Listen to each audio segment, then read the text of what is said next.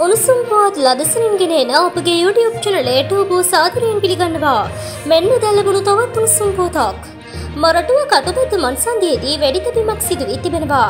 එම වෙඩිතැබීමෙන් පුද්ගලයන් දෙදෙනෙකුත් ජීවිතක්ෂයට පත් ඇති බවයි වාර්තා වන්නේ. වෙඩිතැබූ පුද්ගලයා හෝ ඝාතනයට හේතුව පිළිබඳ නිශ්චිත තොරතුරක් තවම වාර්තා වී නැහැ. මෙවැනි උණුසුම් පුවත් ලදසනින් දැන ගැනීමට අපගේ YouTube චනලය සබස්ක්‍රයිබ් කර බෙල් අයිකනය ක්‍රියාත්මක කරන්න.